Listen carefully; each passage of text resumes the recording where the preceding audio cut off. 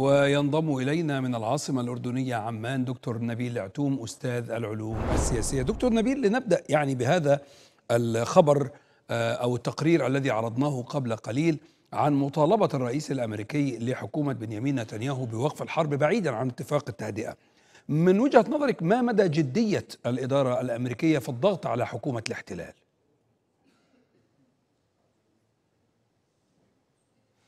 مساء الخير أستاذ حسن. يعني في واقع الأمر هي دعوة من جانب الولايات المتحدة الأمريكية في ظل الازدواجية الأمريكية الواضحة.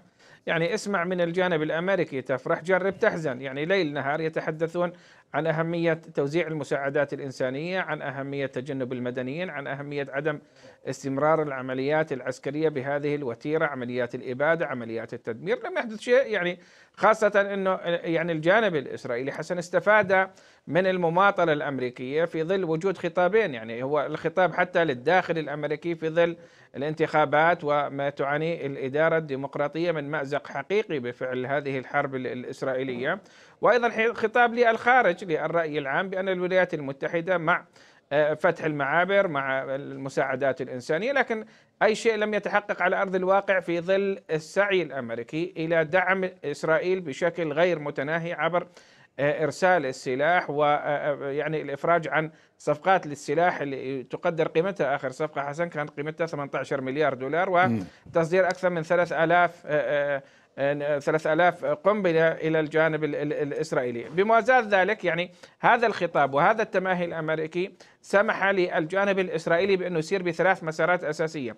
الاستمرار أولا في حرب الإبادة وبشكل غير مسبوق عبر سياسة الأرض المحروقة وتدمير كل البنى التحتية الموجودة في غزة بحيث تصبح غزة غير صالحة للحياة. الأمر الثاني ما يسمى بسياسة التهجير من الشمال والوسط باتجاه الجنوب ووضعهم في منطقة جغرافية واحدة ممثلة في رفح. والاستراتيجية الثالثة التي نجحت فيها إسرائيل من خلال دعني أسميه هذه المماطلة الأمريكية وهذه الإزدواجية الأمريكية ممارسة سياسة الحصار والتجويع. وبالأمس بيقول لك والله الرئيس بايدن تحدث في مكالمة مطولة مدتها 30 دقيقة مع بنيامين نتنياهو وطلبوا بوقف إطلاق النار، إذا كان طلبوا بوقف إطلاق النار فلماذا لم توافق الولايات المتحدة الأمريكية على القرارات الدولية بشكل إلزامي وأخذت تحت البند السادس من ميثاق الأمم المتحدة، هذا من ناحية. ومن ناحية أخرى أيضا أنه الولايات المتحدة لغاية هذه اللحظة أنا بعتقد حتى في طبيعة التخيير حسن لنتنياهو إنه بتفتح المعابر معبر ايرز ومعبر كرم أبو سالم وإيقاف وقف إطلاق النار فهو اختار الموضوع الأسهل. واليوم يعني هي دخل نتنياهو ثلاث شاحنات. شوف أنت ثلاث شاحنات في ظل هذه الأزمة الإنسانية غير المسبوقه وبالتالي أنا لا أعول على الجانب الأمريكي. وحتى المفاوضات اللي بعثوا لنا ويليام بيرنز للحديث مدير وكالة السي آي اي للدفع باتجاه المفاوضات باتجاه التهدئة إلى القاهرة.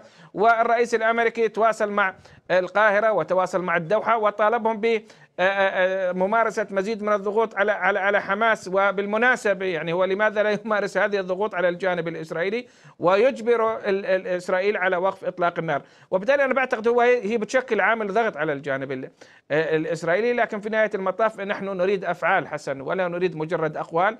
م. هذا الأمر لا يسمن ولا يغني من جوع في ظل عملية التصعيد الإسرائيلي غير المسبوق. نعم. وفي ظل سعي إسرائيل الآن إلى استراتيجية أخرى من خلال محاولة نقل المواجهة إلى الخارج.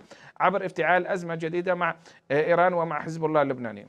تحدثت عن إرسال رئيس وكالة الاستخبارات الأمريكية إلى القاهرة وكذلك أيضا الوفد الإسرائيلي من المفترض أن يأتي هنا غدا لبدء جولة جديدة من المفاوضات. توقعاتك لهذه الجولة وما إذا كانت تحمل أي آمال في الوصول إلى اتفاق لوقف إطلاق النار وتبادل الأسرى والمحتجزين؟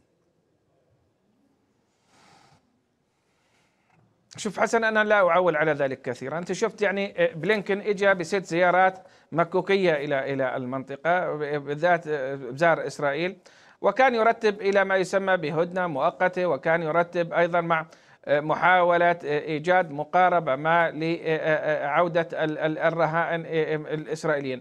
لكن لم يتحقق ذلك. الإسرائيليين استقبلوا بلينكن بمزيد من عمليات المجازر وكان آخرها اللي هي مجزرة مستشفى الشفاء وغيرها من هذه المجازر التي لا تعد ولا تحصى لكن يعني هذا بيعطيك درجة الاستهتار الإسرائيلي من ناحية وبيعطيك مؤشر على أن هنالك اتفاق ضمني ما بين الولايات المتحدة الأمريكية والجانب الإسرائيلي للاستمرار في هذه الحرب وسط دعاية إسرائيلية غير مسبوقة برزت من خلال الحديث عن وجود 3000 عنصر من حماس لا زالوا موجودين في في في في منطقة رفح.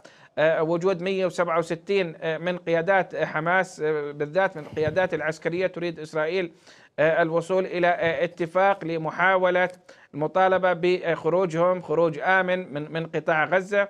والحديث بشكل واضح وصريح عن محاولة إيجاد منطقة عازلة في شمال غزة وتقسيم قطاع غزة إلى ثلاث مناطق أساسية مع محاولة الترويج إلى سلاح الغذاء مقابل وقف العمليات العسكرية. وأيضا الحديث أيضا عن مقاربة أخرى هي محاولة ابتزاز الطرف الفلسطيني عبر ورقة رفح إن إما بتنفذوا هذه المطالب التي تريدها إسرائيل أو سوف تقوم إسرائيل بعملية عسكرية واسعة النطاق ضد رفح والأمريكان بالمناسبة. حسن يعني هم مش ضد هذه العملية. هو بيقول لك الآن إحنا فقط كيف أنتم بدكم تتعاملوا مع الجانب الإنساني؟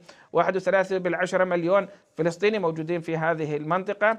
والحديث عن وجود مقاربة عن أهمية وجود مقاربة إنسانية لنقل جزء من هؤلاء للقيام بالعملية العسكرية. ولغاية هذه اللحظة حتى إدارة بايدن لم تطالب بوقف كامل وشامل لإطلاق النار ودخل علينا العنصر النسائي ودوره في السياسة وفي التأثير على الجانب الأمريكي من خلال القول والادعاء إنه والله زوجة بايدن زعلانة ومتضايقة وهي تمارس ضغوط على الرئيس بايدن حتى يقوم بدورة بممارسة هذه الضغوط على الجانب الإسرائيلي لوقف هذه العمليات العسكرية، بموازاة ذلك إحنا ما في عندنا ضغط دولي حسن، يعني حتى دول الاتحاد الأوروبي وفرنسا لا زالت تقف بشكل واضح وصريح مع الجانب الإسرائيلي، صحيح أنها تشجب وتدين وهذه توجه رسائل للبيئة الداخلية في هذه الدول خاصة مع الرأي العام الضاغط وخروج التظاهرات والاحتجاجات وهيومن رايتس ووتش وملف حقوق الإنسان وغيرها نعم.